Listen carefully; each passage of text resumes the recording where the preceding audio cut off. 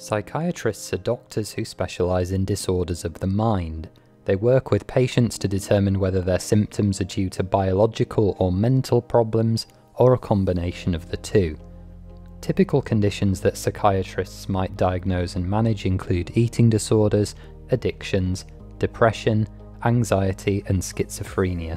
While psychiatrists often use drugs as a central part of treatment for their patients, they can train in medical psychotherapy to give a very holistic and multifaceted approach.